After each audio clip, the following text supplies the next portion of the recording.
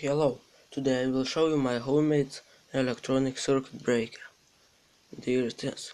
It's made out of relay, Zener diode and a couple of diodes. And a couple of LEDs. Let me connect it.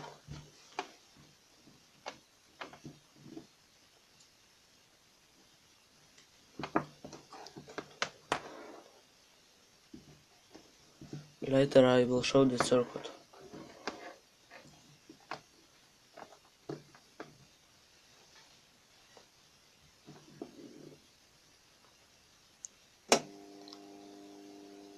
So now it's on. It protects from short circuit there. And it turns off. Now I turn it on.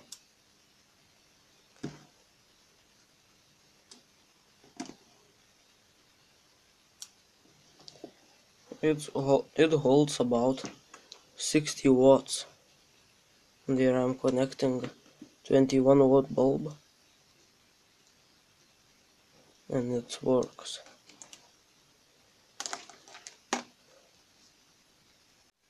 And here is a 50 watt bulb.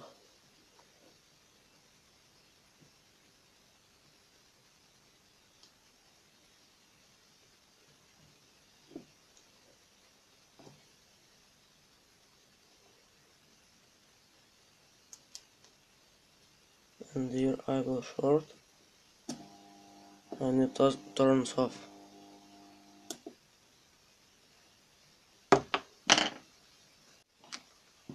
here.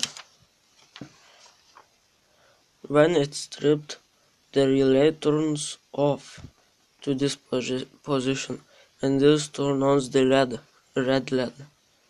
When it's on it goes there and power can go to your load and the, it powers the LED to indicate that it's on. There I used 6.3 volt Zener diode. There's just some diodes, a push button, and there are 20 ohm resistor and it's normal relay from a car. It's double pole. This works like that. This Zener diode 6.3 volts.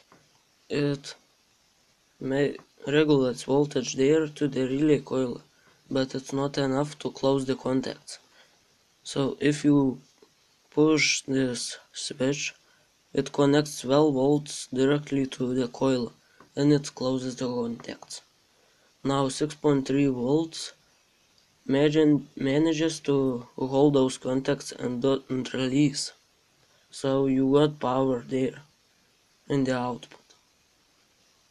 But when you short the power supply, the voltage drop occurs there and there is not enough voltage to keep the, the contacts closed so it opens and you got no, no more power in the output.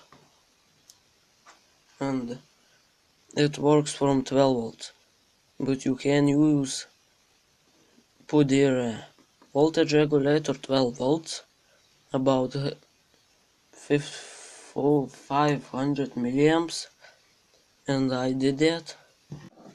And you can put the power up to 35 volts and the regulator will regulate